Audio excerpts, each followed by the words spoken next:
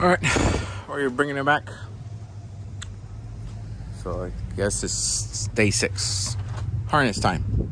This is the engine side of the harness. Uh, used to be the engine side of the harness. Now it's just starter side of the harness. Uh, full harness. That piece right there is the wiper. Full harness. That piece is the power for the AC stuff side. Going on full harness and now that's the the new that pink wire is the new starter wire for the solenoid and that's uh, the power that goes to the starter.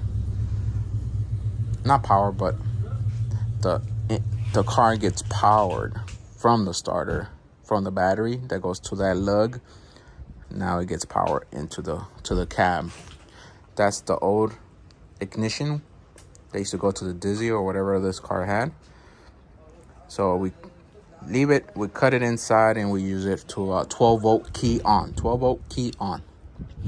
Uh, the new pink wire is going to be your starter. That's actually when you crank it gives power to the solenoid for the starter to engage. It just it had to it, it was purple but if y'all remember if you skip to the beginning of the uh, other video the first video of that one y'all will see where uh, it had a mickey mouse. This is all the stuff that i took off of the harness. Uh, a lot of fucking damaged wire. Had a lot of damage. Like some of the wires is still damaged over here. Okay, that's gonna be the headlight new, new, not new, but had it, but it was not working. That's the headlight, not headlight, but the hood light. You can see right here, they elongated this wires. They Mickey Mouse this wire. They changed colors on these wires. That's why I opened them to make sure See how it's go it's going from green to blue, back to green, and it's damaged. See that? Damaged wire. They left the damaged wire instead of cutting it all the way from over here and adding the new piece. Same thing for this one. You see this one? It went from a green white stripe to a solid green to a green white stripe and all damaged. It's exposed damage. All this was hidden under tape. That's why you take apart your shit. I think this was going to the pressure switch. See how it's cut? I cut it, but I think it's the pressure switch. I just got to confirm with the pressure switch. But the new pressure switch is going to be this one. I'm going to use this between the relay and the, the fucking uh, compressor.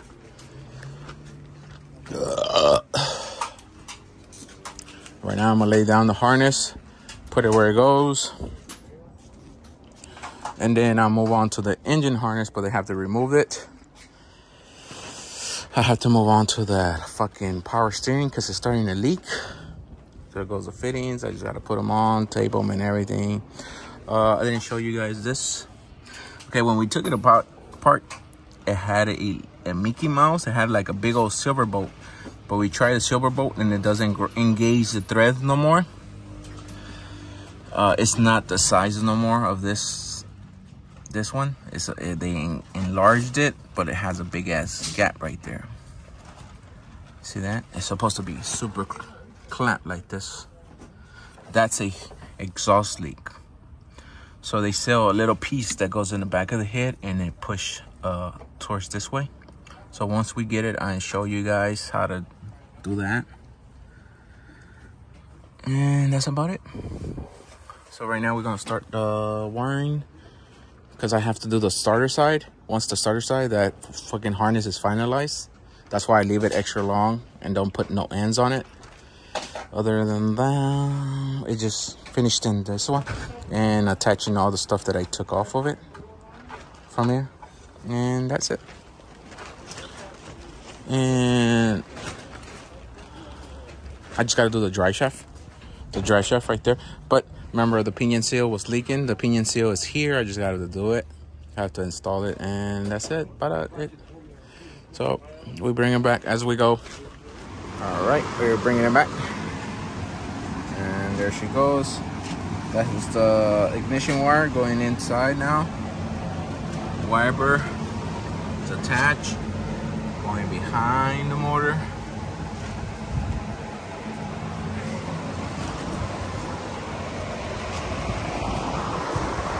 And here's the starter.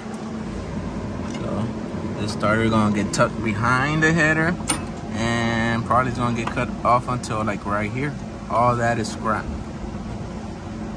So it go right here. And it's gonna bolt on to the starter.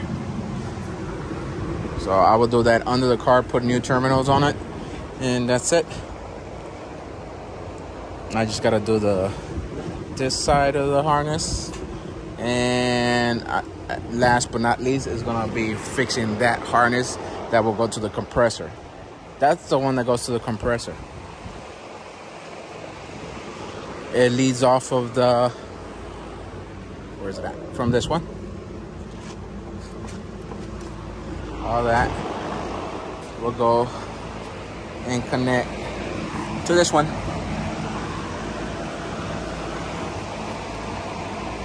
But it only controls the compressor. So I have I'm gonna delete a lot of stuff from there. I'm just gonna use the pressure switch. And that's about it. And repair some, uh, elongate it and shorten it wherever I need to. All right, we're bringing it back. I remember that oil pan? See the clearance with the new oil pan? Remember the other one was right on top of this? That's the difference.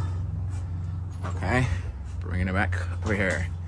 O2 sensors on, headers on, uh, starters wiring is on, but it's, it's just, uh, for right now, it's just mocked up. Transmission cooler lines are on, they're going this way and to this. Okay. Yeah, on. on. We still gotta do the wiring for the fans.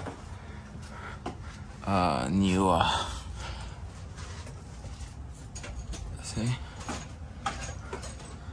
That's how this works. And the new shit. Uh, the drive shaft is short.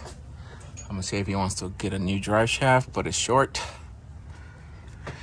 It's like an inch short see that came out of there because the engine went forward. Yeah, remember? Engine went forward, so that's the old location, that's the new location. So it's an inch forward. Everything is done. I fixed the leak, new sealed. And that's it. For the bottom, I'm gonna show you the top, but I didn't wanna show you the top, then the bottom, because now I have to lower it and drop. But now I just have to drop it and it stays dropped. That's it. Okay. See the K member, this one? So your exhaust goes through here and they're gonna bring it this way here. They bring this exhaust this way here and they will merge it to a white pipe.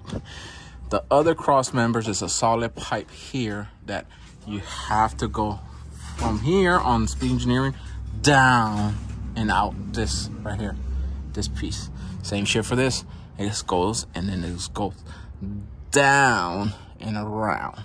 And you'll be having clearance issues on the floor. If you have a drop at third detergent, they will rub on the floor. Your fucking exhaust.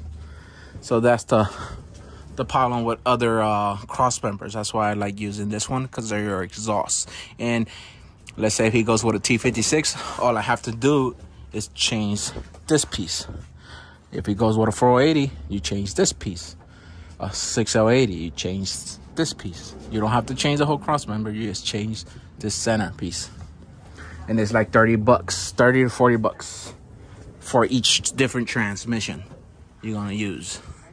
Other than that, that's it. All the wiring on top is done. We're gonna move on to showing you that. We just showing you the bottom. And that's it. We just waiting on the harness, but I haven't even taken it. So I'll probably hit him up, see if he takes it Monday and see how fast can you bring it back to us. All right. See the wiring going towards the starter. Okay. All the headlight is reloomed, re-ran, reloom. There it goes right there, and there, and boom. They end up here. This is for the for the brake when you run out of fluid or it's low on fluid This is uh, what turns the brake light on your dash. That's it. We're just gonna do the power steering lines right now. And start on the AC stuff. And that's a bit should be it for today. So that's gonna be the end of this video so I can continue working without stopping. And we're losing light. And remember, next week I'll leave the SEMA. So this one's supposed to be 95% completed. You can say it's there. It just needs to harness and Dakota. And that's it. So let me finish. So I'll catch you on the next video.